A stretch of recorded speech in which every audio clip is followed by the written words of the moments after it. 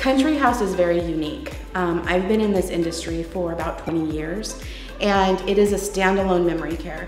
So that itself sets us apart from an assisted living that has a memory care within it. So when you're in a standalone memory care, you have all this room and freedom to walk. Everybody's on a journey. There's nobody pointing fingers and no not wanting to engage with you. We all have been trained in staff. We also set ourselves apart because we believe in treating everybody like family. So our residents come into the community and they become a part of our family. Their families become a part of our family. So in treating them like family, they're gonna get the best care that, that they can possibly get.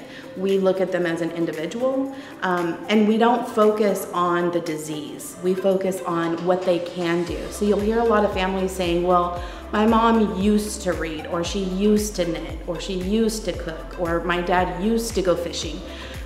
Okay, those are things that they used to do, but they probably still enjoy it. They just have lost the ability to do it on their own. Well, we're gonna find a way to do it safe. So we have many different things to keep our residents engaged here. We have um, different activity levels available. So we're gonna hit um, from very high functioning to low functioning, even residents that are on hospice, keeping them as engaged as possible. So we are huge on doing things within the community. So we, um, we will be out in the community daily. We educate you, we give you the tools that you need, and when you're ready to make that decision, then we're here to support you through that.